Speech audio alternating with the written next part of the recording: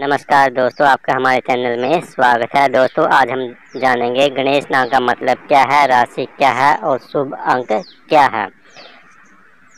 अधिकतर माता पिता अपने बच्चों को गणेश का नाम देना चाहते हैं, लेकिन इससे पहले वो इसका मतलब जानने का प्रयास नहीं करते। गणेश नाम का मतलब होता है भगवान। गणेश सेना के भगवान भगवान शिव और पार्वती का बेटा होता है।